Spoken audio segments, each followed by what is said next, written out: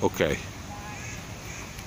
Salve ragazzi, sono Andrea Bruno e faccio questo video per spiegare come mai il Bitcoin continua a salire ed è destinato a salire perché molti che investono non sono tanto sicuri. Allora spiego delle cose molto semplici sia per chi ha già investito in quella direzione e per chi è scettico. Allora primo il Bitcoin è già predeterminato ovvero ve ne sono 21 milioni quindi non verrà creato dal nulla, mentre noi euro, dollaro abbiamo rotative che continuano a stamparlo, oppure la banca che lo presta virtualmente senza nemmeno averlo, quindi lo vanno ad inflazionare, il bitcoin è già prestabilito, ce ne sono 21 milioni di cui parte di questi 21 milioni sono già stati trovati dai miner, ovvero ci sono delle persone che hanno delle apparecchiature che tengono in vita il bitcoin che eh, servono per le transazioni e hanno già scoperto alcuni di questi 21 milioni, diciamo una buona parte sono già stati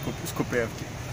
Però alla fin fine il cucuzzaro è già stato prestabilito, per cui capite anche voi adesso che tutti vedono che il bitcoin cresce, è una buona forma di investimento. Chiunque ci capisce qualche cosa di finanza, investimenti o vuole conservare il suo patrimonio in questa forma di investimento qua vorrà un suo bitcoin. 21 milioni non sono nulla. Nella vostra città ci sono sicuramente 21 milioni di dollari perché è una cifra irrisoria. In qualsiasi città Milano, Genova, eh, Venezia, qualsiasi città europea 21 milioni di dollari o euro esistono perché? perché non è una grandissima cifra. Bitcoin diciamo è una moneta che è eh, centellizzata con il contagocce. Inoltre di recente quando c'è stato il fork cosa è successo?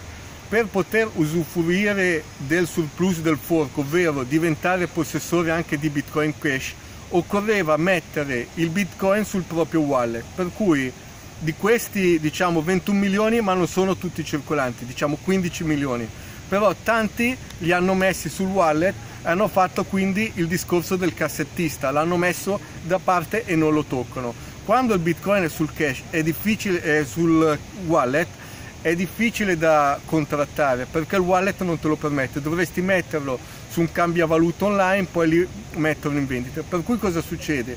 Tanti che hanno il bitcoin, siccome lo vedono come una forma di investimento a lungo termine, l'hanno già messo da parte, per cui la liquidità si è abbassata di molto, circolanti ce ne saranno 3-4 milioni, il resto è stato di recente tutto trasferito sui wallet da chi aveva eh, il bitcoin, quello classico tradizionale.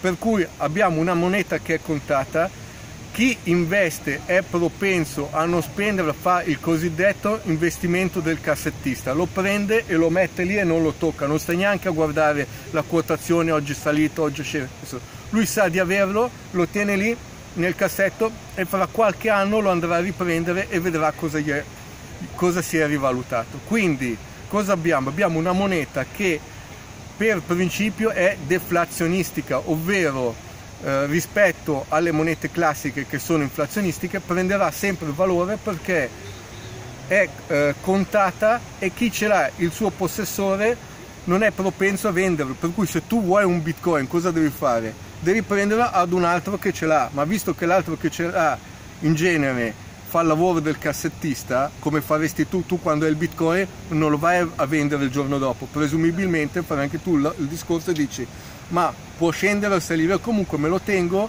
lo tengo lì diversi anni come è già successo a molti che si sono arricchiti e il, diciamo il surplus, il guadagno tu lo hai a lungo termine.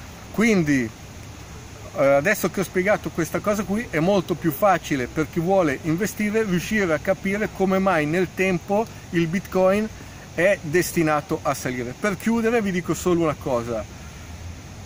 Euro e dollaro sono in bolla. Molti dicono eh ma la bolla del bitcoin. Io non sarei così tanto sorridente a parlare della bolla del bitcoin perché voi che vi tenete euro e dollari sotto il materasso che avete dato i soldi al Monte dei Paschi di Siena che vi siete presi le Parmalat. State molto attenti perché chi è veramente in bolla sono dollari e euro. Quelli sì che stampano moneta dal nulla esattamente come fanno i falsari. Ciao a tutti e alla prossima.